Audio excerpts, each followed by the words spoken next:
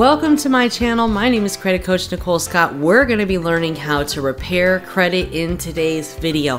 This video is going to be broken up into two parts and you want to make sure that you have watched both parts along with the entire credit repair training playlist. The link is below for all of the training videos so you can learn how to repair credit and start a credit repair business using a software called Credit Repair Cloud. Credit Repair Cloud is a great tool to help you automate the process of data, basically. It's bringing data from your credit monitoring onto one location so you can easily add that information and track that information as time progresses, easily create dispute letters, and be able to have a tracking all in one place. It does all the work for you. So it really helps save time and you know you do get a free 30 day trial. So you can try it out. It's very user friendly um, now you don't have to use software. I recommend using software because it saves time and ultimately time is money right? But um, if it's not in your budget you can take this same concept and use microsoft word. You can use google docs because you just have to take the concept of it and apply it to your situation, right? Uh, that's why I teach the concept of credit podcast. So if you haven't watched my podcast, which is called the Credit Concept Podcast, make sure that you check that out. The link is below so you can check that podcast out on YouTube or wherever you get your podcast. But without further ado, guys, if you have not by now, I want to make sure that you have subscribed to the channel on YouTube, Credit Coach Nicole Scott. Make sure that you follow me on Instagram, Credit Coach Nicole Scott. I am on TikTok and Facebook as well, but I don't get paid for videos on there. So I prefer if you watch my videos and support me on YouTube and Instagram. Um, I actually do get paid on Facebook by Reels, but the main platforms are Instagram and YouTube because that's who pays me the most. So I would highly appreciate if you are finding value in my videos, in my training, whether it's with Credit Repair Cloud, how to build credit, um, you know, how to build business credit, how to build personal credit, or anything that I speak of on my videos. It's all related to personal credit and business credit to help you leverage your credit to create multiple streams of income. Okay, because nowadays we need to have multiple streams of income, and that is so important, especially in 2023 where inflation is as real as it gets. Eggs are damn near a dollar a piece. Let's go. We need to make more money. Okay. So, credit repair is a great way to add an additional stream of revenue to the services and products that you already offer. So, if you have a large network of people that you are associated with, start providing products and services. Start promoting yourself on social media you don't it's okay to have a job right? It's actually recommended that you have you know one source of income that is consistent whether that is you know you owning one main business that provides all of your income or whether that's being an employee. We need one main source of income that is our bread and butter.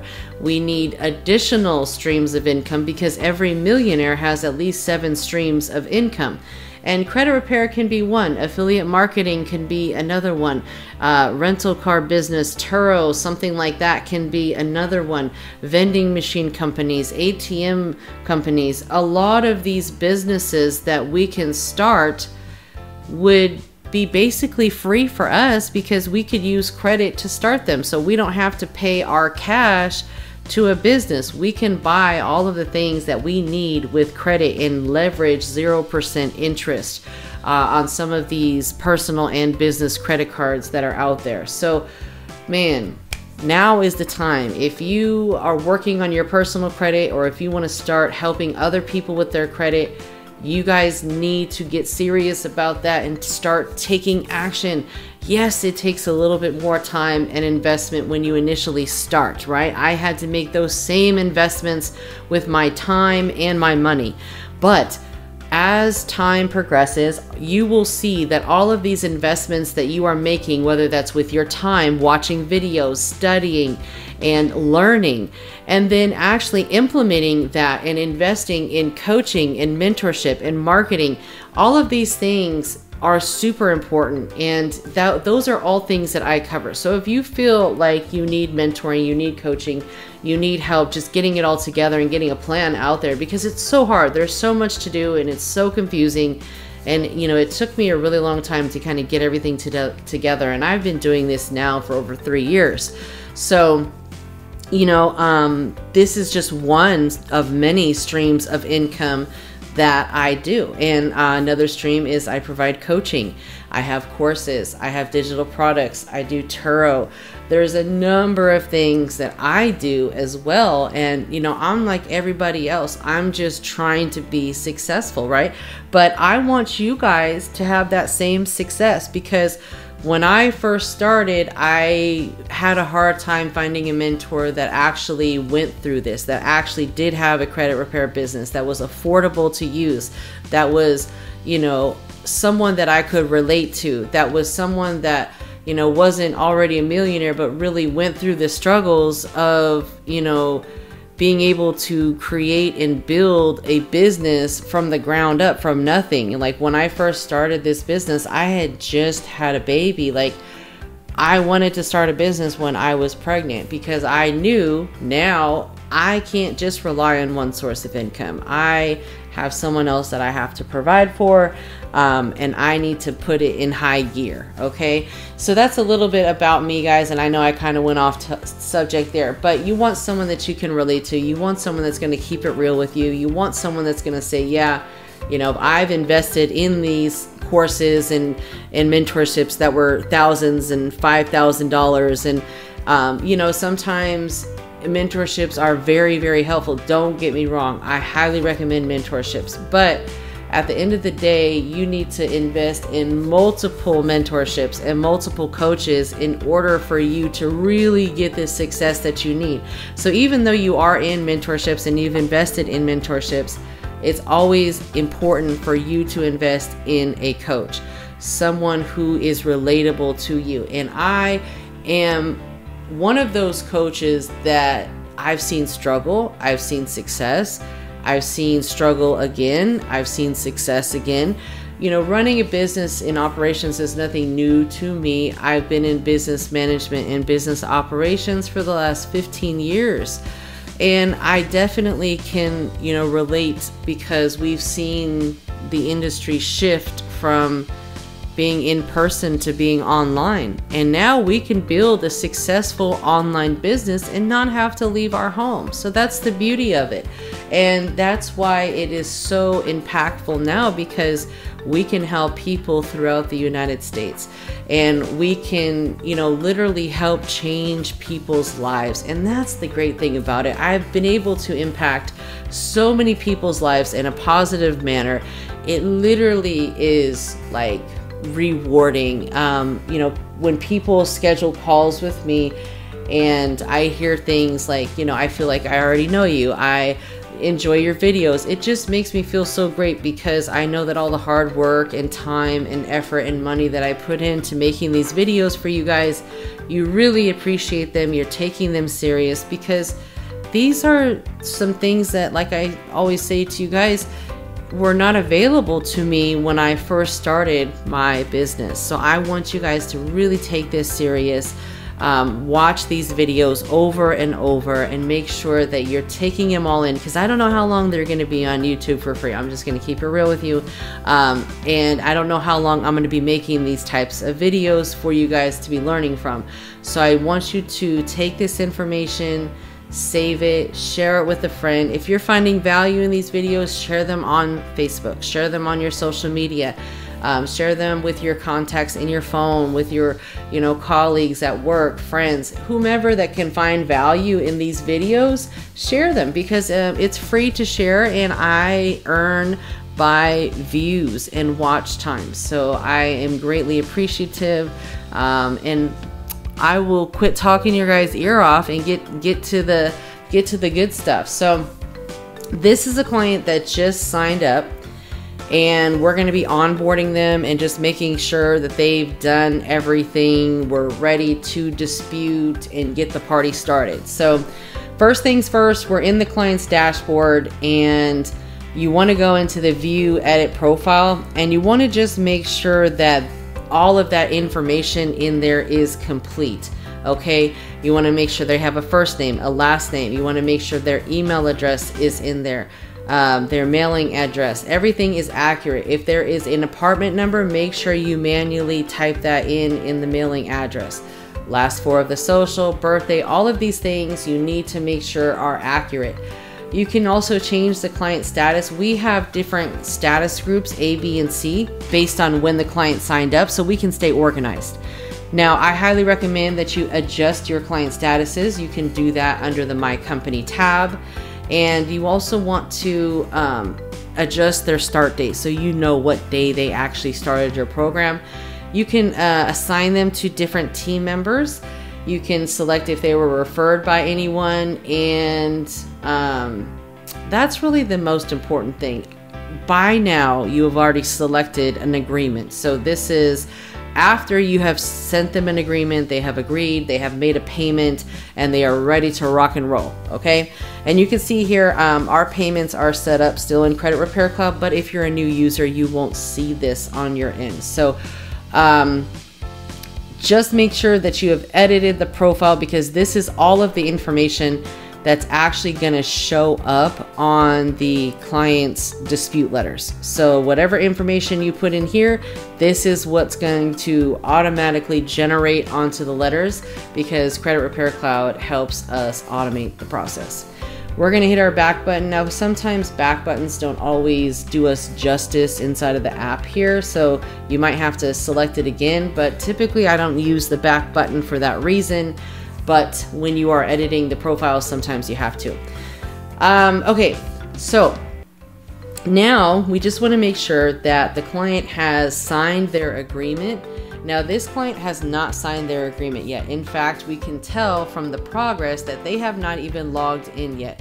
So what I did earlier was I actually resent them their login details so they have it and they can log in and sign their agreement because I do not want to send out any letters for this client until they have signed the agreement, which gives us a limited power of attorney to actually be able to send um, letters on their behalf. If they don't sign it, then we would have to send the letters to the client and have them print and mail. Uh, sometimes we do do that where we would send the PDF file of the letters directly to the client and they print and mail their own letters. In fact, it's probably best practice to do that so you don't have to pay for the postage or be responsible for anything when it comes to the dispute letters. So, um, now you know you just want to make sure that the agreement is done. We're going to generate the letters but again we're not going to send nothing out. Um, we're just going to do it so you guys can see the process. You also want to make sure that their photo id and their utility bill is uploaded. Now keep in mind the photo id and the utility bill which are basically line three and line four those are the only two attachments that are going to be attached to the dispute letters when they're generated. You see here you can upload a social security card, you can upload other documents, but none of those will actually attach to the dispute letter. So what we often do is organize our proof documents. And when I say proof documents, I'm talking about the photo ID, the proof of address, the social security card. I organize those so I'll put like proof of address and the ID on one page and then take a, you know, screenshot of that and upload it to Credit Repair Cloud. And you just have to organize it by, you know, taking a screenshot of it, organizing it like in Microsoft Word or something, and um, then taking, you know, a picture of that and uploading it so it will be your basically you're condensing the items. So all three documents will be attached to every single dispute letter because at the end of the day, the credit bureaus, if you're um, wanting to change personal information uh, or pretty much anything, it's always good practice to send the photo ID, the social security card, and proof of address because that's what the credit bureaus are asking for clients to send in. Uh, when they are changing their address, when they're asking for anything to, you know, be updated on their credit file, so they can verify that you are who you say you are and you're not somebody else. So oftentimes they might respond and say, hey, we can't verify you, we can't locate your credit file. That's usually because you didn't send all those proof documents in to them. So let's go ahead and get everything started because we we actually put their photo ID and their proof of address onto one page and we uploaded that one page here. And then we can upload the social security card when we receive it. Uh, we can upload that to the utility bill. And it will still say utility bill but really what would be attached is the photo id and the um, proof of address because that's on one page and then the social security card because that's on another page. So sometimes you kind of have to manipulate the system to do what you wanted to do and just try to stay smarter than the computer right which is sometimes is very hard so now um, what we are going to do is we've imported the credit report and we provided the client with a free credit analysis using Credit Repair Cloud. And that's pretty much like step one. And we have other training videos on how to provide a credit analysis. So make sure to watch those inside of the credit repair playlist on YouTube, which is below in the description. So what we're going to do is we're going to go to tab two where we are going to tag the pending report because the credit report's been uh, uploaded and it's literally it was just waiting for payments, waiting for us to tag it and create the letters so in part one of this video we're going to be tagging the report and then we're going to generate the letters which is very important because this is how we get things deleted off the credit reports so we're just going to hit tag and save pending report and this is going to open up the pending credit report that is inside of Credit Repair Cloud. And this is just the pending report that we used from Smart Credit. Uh, we always recommend Smart Credit. If you have not signed up to become an affiliate with Smart Credit, make sure that you have signed up using the link below so you can become a preferred partner directly with Smart Credit and you can offer your clients smart credit reports. You can get the 3B credit reports, which is the three bureau credit reports, meaning you get all three credit reports from Experian, Equifax, and TransUnion side by side, and it's compatible with Credit Repair Cloud. It's super easy to read, it's a great program, and we recommend it. So if you need to sign up, use the links below and get signed up today. So what we're going to do is we're going to update pretty much all of the personal information first. We want to make sure that the name is correct, the address is correct, um, employer is correct. I'm not going to really mess too much with the employer because next time they apply for anything with their credit, whatever employer they put down will be, you know, updated anyways. But as far as the name, one of the names is just listed twice and so that is considered inaccurate and we want it corrected because we only want one name variation on the credit report and moving forward when you apply for credit or when you have your clients apply for credit make sure they are using the same name variation so if they're using first name middle initial last name make sure that's the same on all applications we're also going to select any old and outdated addresses. In this case, the client does have a new address, so we're going to select all of the addresses and we're going to update his address. Um, we are going to then select the, any inquiry that is not associated with an account on the credit profile.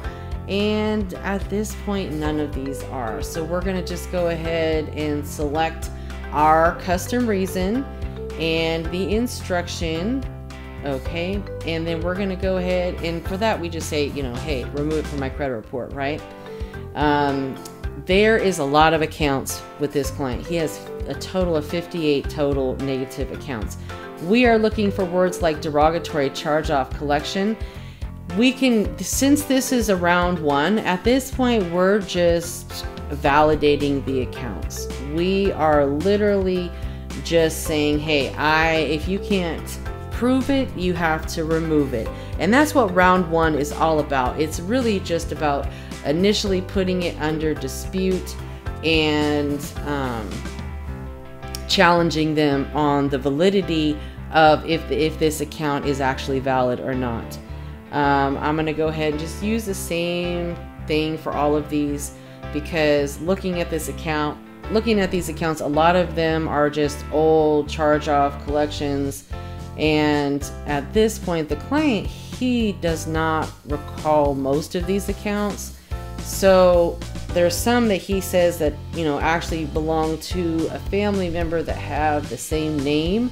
So that might be where some of these accounts originated from. At this point, we need we just need to validate all of these accounts that are listed as, you know, a negative account. When you're looking for negative accounts, the great thing about the software is that it does all the work for you. Anything that's negative is going to come up in red. So we're going to say, hey, look, we're validating. I want you to validate all of this information and we can just go round by round. Every month, we dispute everything that's negative on the credit report with each credit bureau, Experian, Equifax, and TransUnion, and with the creditors. Now, I only add about maybe five to seven items per letter, but I'll use multiple letters. Now, here's a weird one. We've got a negative account with just Experian. The other two are not reporting anything negative. So what we're going to do is we're going to put we're going to put misleading, false reporting, unverified, inaccurate. But I'm going to put a misleading fall. Uh, actually, I'm going to put we're going to need to put this data is not accurate. And what we might want to do is uh, send a screenshot of the credit report showing that, hey, Experian, you're the only one that's reporting this negative information. And I am asking that you delete it from my credit report because here's the proof that Equifax is reporting this, you're reporting this. Even TransUnion is saying that there is no negative information for these accounts. So, where are you getting this uh, data from? let me let me be clear on on that. So uh, we're just gonna kind of keep it very general. And the main thing is just adding a reason why you're disputing it. It can be, hey, this information is invalid. This information is fraudulent. This information was due to identity theft. This information is invalid. This information is simply erroneous. You know, anything that you can do to say this information is not correct, wrong, fraud, identity theft, whatever the case may be, right? You want to just list why you're disputing it and what you want done about it. Do you want them to update it? Do you want them to change the information? Do you want them to delete it? What do you want them to do? Because you need to be clear on the instruction. When we have late payments, generally what we want them to do is either delete the entire account or we want them to update the late payment to paid as agreed. Because the trade lines aren't always bad, it's just a matter of getting them updated so there's no negative information. So we'll see. We'll see what transpires after this round one so we can kind of get an idea of what's left for the client because um, I will say this even though we get items removed from a credit report, does not mean that you don't owe the debt. Okay, it simply means that this debt might not be reported on your credit report, but if you owe, like this client has a ton of student loans, which I actually need to get on a call with him and discuss a, rehabilitation plan for this because there's so many student loans that are in, in derogatory status. And what we need to do is called uh, rehabilitation. So we need to do a student loan rehabilitation where we contact the department of education and go through that process. So uh, we help our clients do that. And it's very important because this this debt does not go away Okay, they will take your taxes, they will garnish your paycheck, they will get their money one way or another. Okay, so let's just deal with it head on. All right, moving on. Here is an account. It's got a zero balance, and you know you got to understand why these accounts are showing up in red, right? And sometimes you have to view more detail to really get an idea of why and what you got to do. So you'll see here the account rating, one says paid, one says closed. That pretty much means the same thing, so we're not going to really stress too much off that. But the payment status is listed as 60 days late. So that's the reason why this is coming up red. And you can see the late payment status is listed as incorrect. So what we're going to do is just say that the data uh, for this account is, you know, inaccurate and erroneous, invalid. It's you know, whatever you want to describe it, right? Be creative. I sometimes look up on Google, what's another word for fraudulent? What's another word for inaccurate? You know, and I'll use all these different types of words because you don't ever want to just use what everyone else is using. You want to try to think outside of the box, be creative, um, try new things, but you know, just use the general concept behind it people that are successful take the same concept and they put uh, their own spin on it, okay? And that's exactly what we're doing here. We're just doing the remix, okay? We're not reinventing the wheel, okay? I didn't come up with all this information, neither did you. Neither, neither did the person who taught me. It's the same thing. It's been the same for years. It's just getting a little bit more defined as we move along in this technology world, okay? Credit Bureau's been around for over 100 years, so this is nothing new. It's just you know, the process. And you still got to go through the process. And while many people might think, oh, mailing letters in is so old school, yes, it is, but it works. Okay. And that's how we do it. We mail our letters in. So here's another uh, collection account, same situation. This client said that they actually don't even know what this is. So we're to just say that we believe we've been a victim of identity theft for that account. The other ones would that would not apply to, but just this, just a few of these that uh, the client is saying, "Hey, look, I I don't know what that is, but um, it does not belong to me, and I have never had an account with this person before." So that is the case for some of these accounts, not all of them. And of course, like if you have an account or a client that um, has been a victim of identity theft, they're going to need to send um, some sort of additional documentation to you, like whether they filed a report or they filled out a truth affidavit. Um, they can fill out truth affidavits, uh, identity theft truth affidavits, and they can get those notarized by a public notary at a UPS store uh, or, you know, any sort of public notary location. Uh, you can even do public notaries online in some states. Not all states, but some states. Um, let me see here. Where what am I looking for? Sometimes I get lost in my own sauce in here. Okay, I have so many different custom reasons and instructions. Sometimes it's like, oh man, I need to um, clean some of these up because I have so many. I try different things out, you know and sometimes it'll be like almost the same thing just slightly different because I'm like well what if I say it this way or what if I say it that way is it really gonna make a difference and the truth of the matter is no you know because a lot of the times um, it's the supporting documentation that is most important. All right so we've got all of these negative accounts and it's going to be fun to see what uh, is able to be removed from the credit report come next round because there are you know there's a lot of accounts that do belong to this client and there's a lot that don't. So it's going to be it's going to be a challenging uh, ride and you know of course like most clients they are in a rush because they you know need need to get something with their credit but unfortunately, things like this do take time. And one of the main questions that I'm asked is how long is this going to take? And that is a really great question because everybody is different. You know, every situation is very unique, right? And it is a case by case basis. But when you have, when you're starting off with this amount of um, accounts that are negative, that are, you know, affecting you in a negative manner, it is going to take a while to recover from this. Whether it's uh, from identity theft or not, it is going to take a while to recover from this because not only are we going to have to focus on the first step of the two step process here, but we are going to have to focus on um, basically adding trade lines and building credit and building a whole new credit report.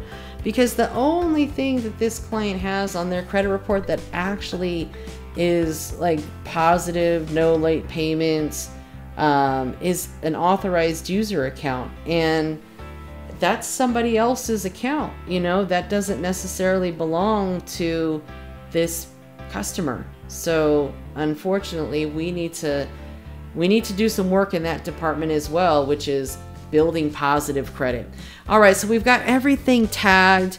Now we are going to save our work and continue to the wizard. Once you have finished tagging everything on a credit report, it will then save the credit scores on the client's dashboard. So say you're like, okay, well, I'm going to tag the reports right now, and then, you know, I'm going to come and do the dispute letters later on. No problem. We can totally do that. Now everything is tagged, everything is saved in there, and they are ready to generate the letters. And this is where our step two process comes into because I know my videos are long, and that is definitely something that many people don't have the patience for. So I'm definitely appreciative of the time that you guys have spent with me today. I know time is precious and you chose to spend your precious time with me. So I thank you for that. But uh, we are going to just check the dashboard. I'll show you guys the credit scores that are now updated in the client's credit file. So we can see this client started off with a credit score of 586, but you saw how many negative items there are. There's 25 with Equifax, there's 22 with Experian, there's 23 with TransUnion. So this is going to be where you can kind of see what has happened, what's been deleted, what's been repaired, what's been verified. Uh, we just keep on disputing the negative accounts until we can either figure out do we need to settle them? Are they valid? And are we going to need to just continue to to challenge them? You know these are some of the questions that we have. It's a process and some people don't have the patience but sometimes it can take 12 or more months. You know it's it's not an overnight process and we're still you know, building credit. You know, the only reason why this client has a credit score in remotely near the 600s is because of that authorized user account. And, you know, the good saying goes, you can't put sugar on shh. And with that being said, make sure to stay tuned for part two.